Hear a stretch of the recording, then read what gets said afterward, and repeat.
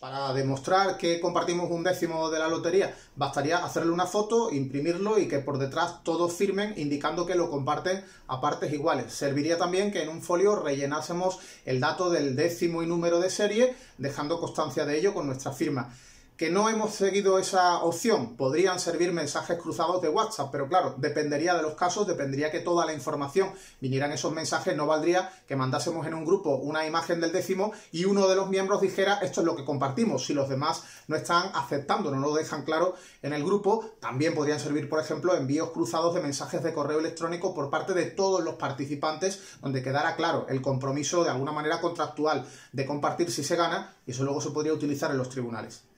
Bye.